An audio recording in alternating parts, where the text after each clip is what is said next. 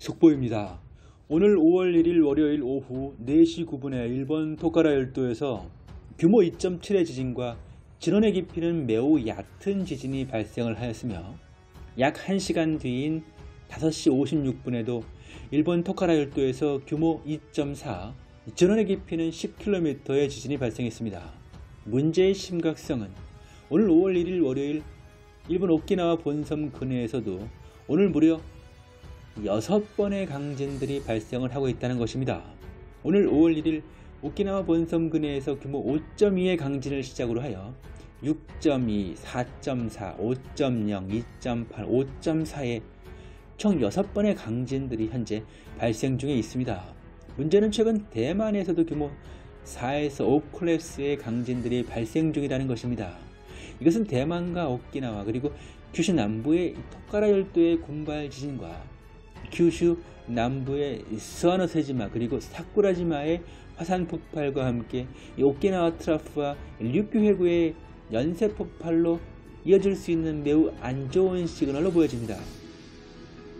일본 규슈 남부 토카라 열도의 군발 지진은 4월 24일 지난달 4월 24일부터 시작되었으며 그 직후 이스와노세지마 그리고 사쿠라지마가 폭발했으며 또한 이 토카라 열도 지진 발생 당일인 4월 24일 역시 이번에도 큐슈 에이메현 미나미오에서 규모 3.6 진원의 깊이는 40km 역시 또 한번 큐슈 아리아케 해역의 규모 2.7 진원의 깊이는 매우 얕은 지진. 25일에는 큐슈 슈가나다에서 규모 2.6 진원의 깊이는 10km 29일 4월 29일 토요일 새벽 2시 16분에는 큐슈 아마코사 해역 규모 3.6 진원의 깊이는 10km 4월 30일에도 역시 큐슈 아마코사단에서 규모 3.5 진원의 깊이는 10km의 지진이 발생 중에 있습니다. 그렇다면 우리는 일본 남부 지역의 대지진에 대비하여야 하는 것일까요? 그러하지 않은 것이 최근 4월 1일부터 오늘 5월 1일까지의 지진의 패턴은 일본 오키나와 본섬 근해와 후쿠시마가 연쇄적으로 동일선상에서 지진을 발생시키고 있다는 것입니다. 오늘도 오키나와 본섬 근해에서 6번의 강진이 발생을 한 이후 후쿠시마 앞바다에서 규모 4.1, 전원의 깊이는 60km의 지진이 오늘 5월 1일 오후 12시 56분에 동시에 발생을 하고 있습니다. 정리를 해보면 5월 1일 오늘 월요일 일본 지진의 문제성은 첫째는 한국과의 연관성입니다.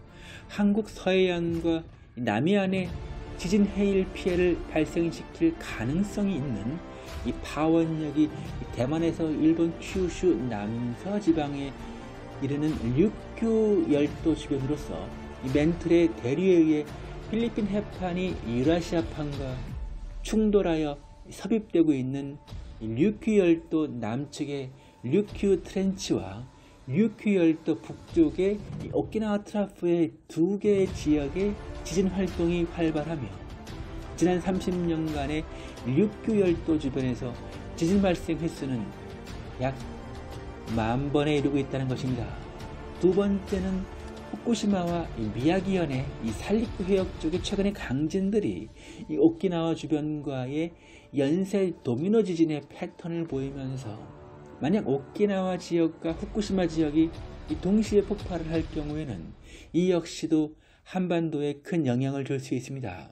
세 번째는 일본의 이 토카라 열도와 이 근처 스와노세지마 그리고 사쿠라지마의 규슈 남부의 화산 폭발들 그리고 규슈 남부 지역의 지진들과 최근 후쿠오카 해역의 지진을 규슈 후쿠오카 해역의 지진을 고려해 보면 근처의 제주도와 한국 강원도 그리고 경상도 지역에 이 지진 해일 피해가 발생할 수도 있습니다.